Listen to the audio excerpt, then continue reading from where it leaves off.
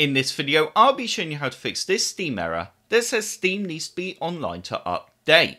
So as you can see at the moment, I've got the error on my screen, but down in the bottom right hand corner in my system tray, it does say I have internet access. So the first thing to do in fixing this error message is just to close down the error. You now need to right click on your network adapter in the system tray and go open network and internet settings. You then need to click on change adapter options and you then need to right click on your network adapter and go disable. Once disabled, you then need to right click on it again and go enable.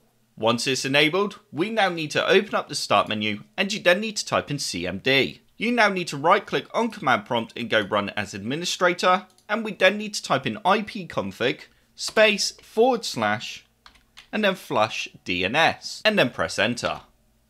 Once that's finished flushing the DNS, you can then close down command prompt and you then need to right click on Steam and you then need to go run as administrator. And there we go, as you can see it's now updating Steam.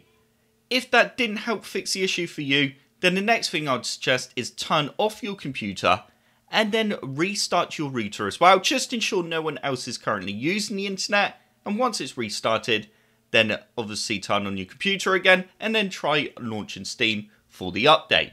And if that doesn't work, then the next thing I'd suggest if you're using a wireless connection is use a cable connection.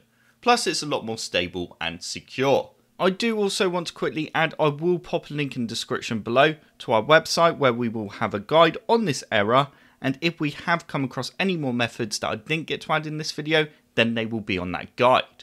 So be sure to check out the link in the description below if the video doesn't help. Alrighty, so another thing that could cause this error is if you have a third party security program installed in Windows. So try disabling that or putting it into a game mode or a passive mode and then try launching Steam again to do that update. Just keep in mind you might not be protected from security threats while your security is disabled. And if you are then able to do the update, then you know you need to add Steam to the exception list in your security program. So that does now bring me to the end of this video. I hope this video helped you out and you enjoyed it. If you did like the video, click the like button below.